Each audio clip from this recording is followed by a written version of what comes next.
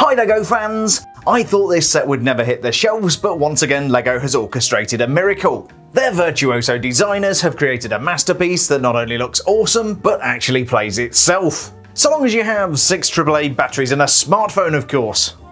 Today I'm going to be unboxing, speed building, and reviewing set number 21323 Grand Piano, a 3662 piece set from LEGO Ideas. This is the 31st set to come from the LEGO Ideas program, formerly LEGO Cuusoo. It's based on a fan submission from Chinese LEGO fan Donny Chen, aka Sleepy Cow. Donny gained the necessary 10,000 votes and qualified for the third review panel of 2018. LEGO deferred their decision until Q1 2019 and finally Donny's playable LEGO piano was given the LEGO seal of approval. The box art makes this set look very classy and it's clearly aimed at adult fans. As the box states, this is aimed at builders aged 18 plus. The price tag of 350 euros, 320 Great British pounds, or 350 dollars confirms this is no ordinary box of bricks. We have a full-on grand piano complete with adjustable bench and working innards powered by LEGO's app-controlled powered-up system. Over on the back of the box we get a closer look at the functions of this 3662 piece playable piano. It also seems that the piano is playing to a socially distant audience. Did LEGO know something we didn't when designing the packaging? The grand piano is not only a beautiful thing, it also has some impressive dimensions. This thing is 12 inches or 30.5 centimeters wide, 13.5 inches or 35.5 centimeters long, and stands an impressive 8.5 inches or 22.5 centimeters tall. All of the components you need to motorize the set are included in the box. The only things you don't get are 6 AAA batteries and a tablet or mobile device to use the app. As a wannabe not very good piano player, I'm curious to see how good this thing is going to sound. But to get to the stage where we can hear this play, I estimate we have about 6 hours of build time. Before we get started with the speed build, let's open up the box and see what we've got inside.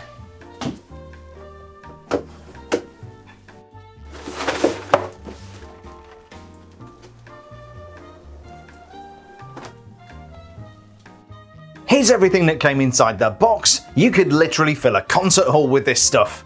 We've got about 30 bags of LEGO numbered for stages 1 through 21, a 562 page instruction booklet, three 16x6 tan base plates, probably the longest Technic axle LEGO makes, a bunch of golden tubes which look just like spaghetti, a random bag containing a motor, some base plates and more spaghetti, and yet another random bag containing some kind of sensor, a battery box, and some more spaghetti. My son and I are going to go ahead and build the LEGO Grand Piano, but you won't miss any of the fun as today this is going to be a 4 minute speed build.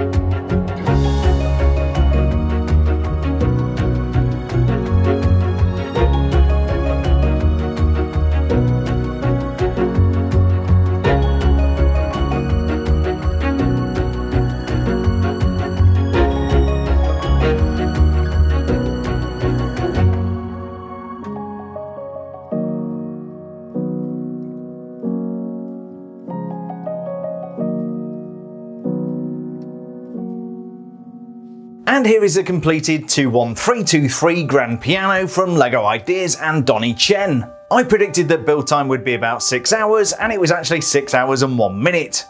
We're going to take a very detailed look at the grand piano, and later in the video I'll attempt to show you how it works. Before all that, I think we should see it play.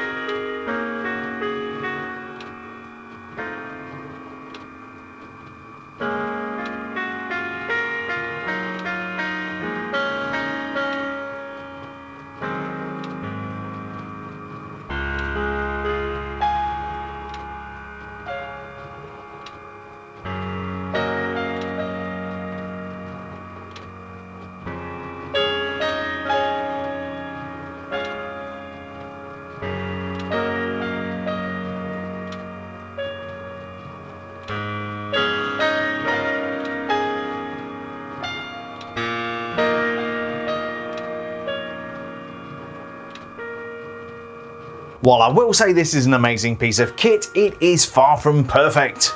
Firstly, this thing will not work without a smartphone, and it is the smartphone that's making the noise. I kind of hope the Upbox may have a speaker. The other thing you may have noticed is that the keys aren't playing the tune. These are going up and down in a set pattern and do not represent the notes of the music. Up to now I've been layering on the soundtrack from the app. You'll notice that sounds all nice and clear. The reality is somewhat different because the motor makes this high-pitched whining noise. You can also hear the clunking of the keys going up and down.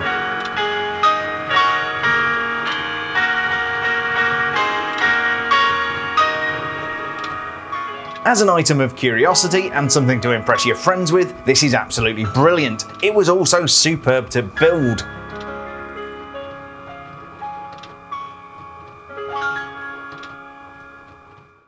As well as listening to the piano play itself, you can also put it into play mode where you can play the keys. This is not all it's cracked up to be. Firstly, this thing is not polyphonic. You cannot play chords on it. Basically all that happens when you push down on a key is that it recognises that you pushed a key sometimes and plays a note. Sometimes two.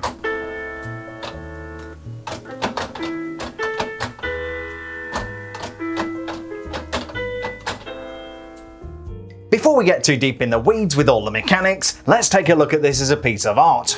The first thing you'll notice with this set is the sheer size and heft of the thing. This is most definitely not a minifigure scale build. The piano is finished in this gorgeous gloss piano black. If you enjoy dusting, you are gonna love this thing. I've already had to break out some microfiber cloths just to make sure this thing doesn't look like crap on camera. The mirror shine may be beautiful, but I find its lack of ability to resist fingerprints disturbing. As an example of the snot, or studs not on top building technique, this thing is an absolute masterpiece. One of the few places you'll see exposed LEGO studs is down here on the legs. Check out the Greek style decoration at the top of the legs which has just a few studs exposed. Other than that, the legs are pretty much covered in glossy black tiles. There are some anti-studs on the back of the legs, and I find it interesting that LEGO didn't try to cover those up. The elements used on the end of the piano keys would have done this just nicely. Perhaps LEGO just don't make these in black. A really nice touch is the casters on the bottom of the feet which actually work. The side of the piano is beautifully contoured and incorporates some curved pieces. They give the piano a very fluid, organic and tactile shape. I was about to comment on the stud that was left visible on the side and then I realised that was a total mistake. This should indeed be covered. All the way around the piano you'll find a beautiful finish. For example, check out the neat interlocking tiles on the back. Perfection like this keeps my OCD very happy. Look a little closer and you'll see some compromises were made. For example, these 1x3 tiles with a hole in the top. Any guesses where you've seen that before? Allow me to decapitate Unikitty. Yes, those are the 1x3 pieces which are used to attach Unikitty's head to her body. Generally though, in the most commonly seen places, the layout of the tiles is very nice. At the front of the piano we have this beautiful hinged cover covering up the keys. We even have a gold bullion element to represent the latch where people would often lock their piano. Heaven forbid the kids would play it. Lifting up the cover reveals the keyboard. We're a little short on the usual 88 keys, but we do have a 2 octave keyboard. I have heard a few people complaining about the fact that the keys don't necessarily align correctly. It is possible to get this right with a little finagling, but using the automatic playing action does seem to get them misaligned. The feature I really like here is the printed gold Lego tile underneath the lid. I don't think the craftsmanship is quite up to Steinway levels, but it's really nice. If you think that's cool, check this out. We have a soft close lid. Now if only LEGO made some shiny versions of those sloped pieces, I'm sure with the right equipment you could probably buff those to a shiny finish. While they are a little bit difficult to align, the keys themselves do look very nice. The major and minor keys are a little out of proportion, but there's no doubt this is a piano. We even have red elements behind the keys to represent the felt cushioning. If you're looking for somewhere to put your music, then LEGO has thought of that. Underneath the flap there's a music stand, but to get to that we're going to have to open the lid. Like any grand piano, you can open up the lid to increase the intensity of the sound. We can now set up the music stand and use it to support our sheet music or a smartphone. The sheet music is a printed part and has the notes for the song Playday by Donny Chen. I don't know whether Donny Chen wrote the music, but the piano will certainly play it. Something that worries me about the lid is the lack of anything to restrict the movement. Opening this too far could definitely put some stress on those hinges. A simple solution could have been using a chain or a piece of string in here to restrict the movement. Actually, now that I look a little bit closer, the flap on top of the lid does a good job of supporting it. Now we can take a good look at all of the stuff inside the piano. Towards the back here you see what would be the cast iron soundboard. This is equipped with holes to allow sound to resonate through and those holes are surrounded by really nice metallic gold elements. Continuing with the gold theme, we have the strings of the piano. These are the things I described as spaghetti earlier in the video. I really like all of the gold clips holding these in place. On top of the strings you can see the dampers that work with the sustain pedal. The piano makes notes when hammers hit the strings and these dampers can be raised to make those notes last longer. These are a working part and are activated by the pedals. Around the edge we have some rather nice chrome metallic 1x1 plates. At first I thought these might be pins, but I think they're more likely to be screws in the soundboard. Tucked away just behind the keyboard, you can just see the hammers which hit the keys. We'll take a look at those in just a second. The other thing I wanted to show you real quick is the music stand. This is adjustable and the Technic axles just behind it help it stay in place.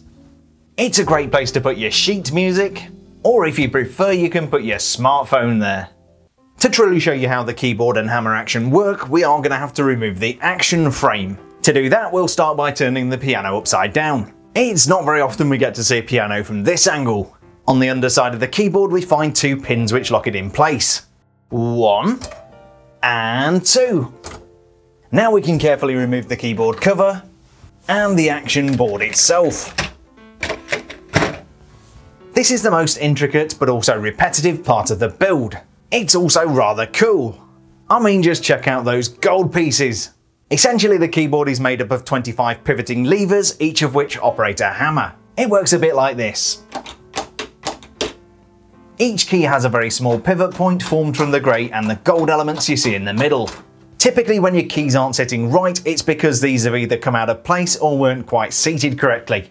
The keyboard is fantastically designed and looks great, but it does have a very plastic, clunky action, pretty much what you'd expect from LEGO. There are also clearly no motors and no mechanical parts, so let's see what else is going on inside the piano. Deep within the piano is where all the magic lies. If I start up the app,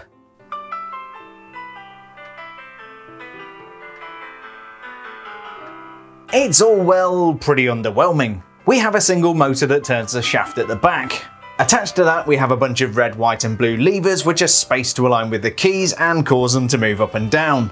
Also under the hood you can see how the sustain pedal works. The brains controlling all of this wizardry are hidden away in the back of the piano. This is the powered up hub and the blue light tells us it's listening to everything we say and reporting it back to LEGO in Denmark.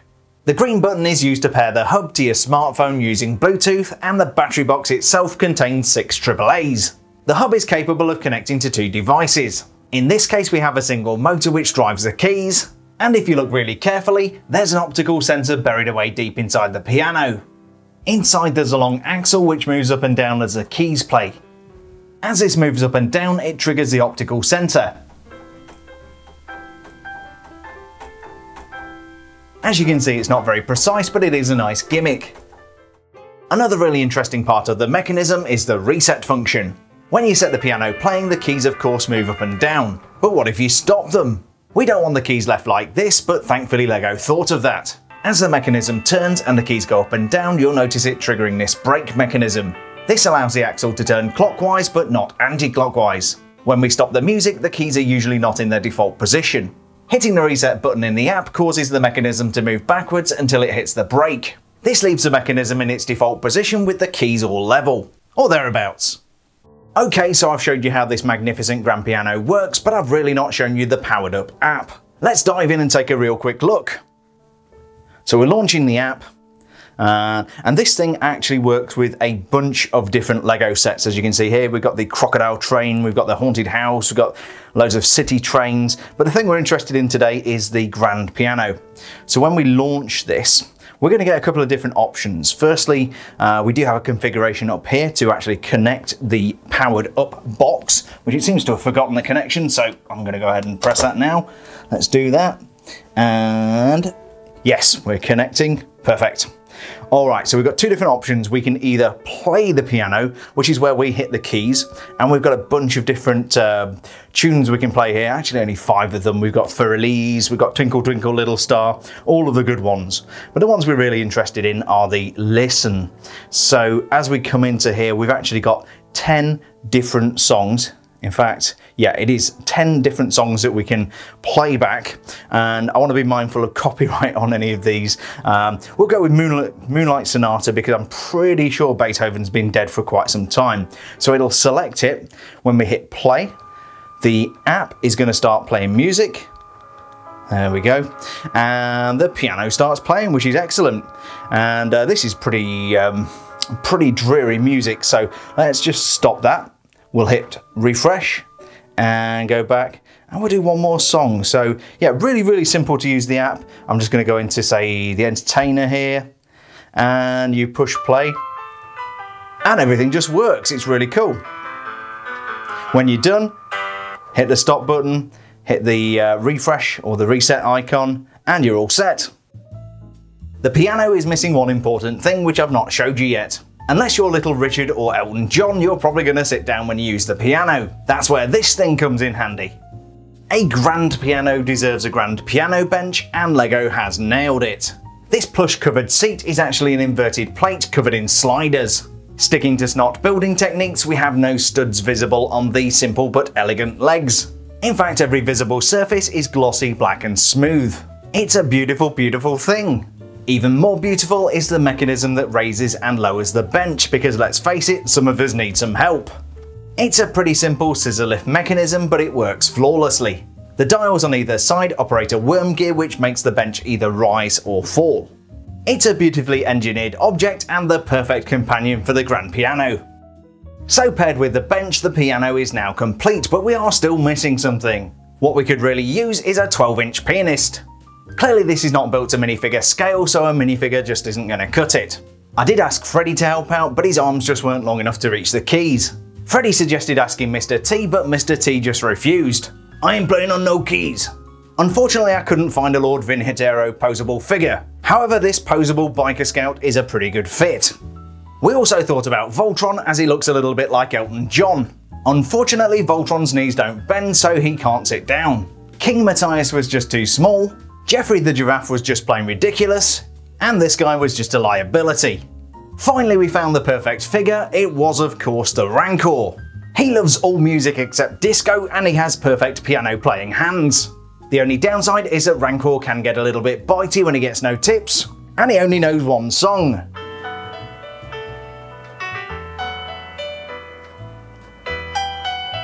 That grows old pretty fast. So that was set number 21323, the 3662 piece grand piano from LEGO Ideas. This thing is absolutely magnificent and one of the finest LEGO creations I've ever seen. Sure you can bang on the keys and it makes noises, but I would love each one of the keys to have its own note. The mechanism, albeit a little bit temperamental, is absolutely fantastic. Even the piano stool is a little work of art. The thing that worries me about a set like this is the fact that it relies on an app. Apps come and go, and when you can no longer get the powered up app from the App Store, this is going to be a pretty but non-functioning item.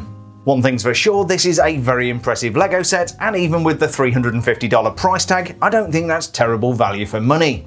It is both a challenging and very rewarding build, and definitely worthy of that 18 plus recommended age range. I really enjoyed building this and showing you guys how it works. If you enjoyed the video as much as I did making it, a thumbs up is always appreciated, and don't forget to subscribe for more awesome LEGO content. No time for an encore today, so thanks a million for checking out the review, stay safe, and we'll see you on the next build video.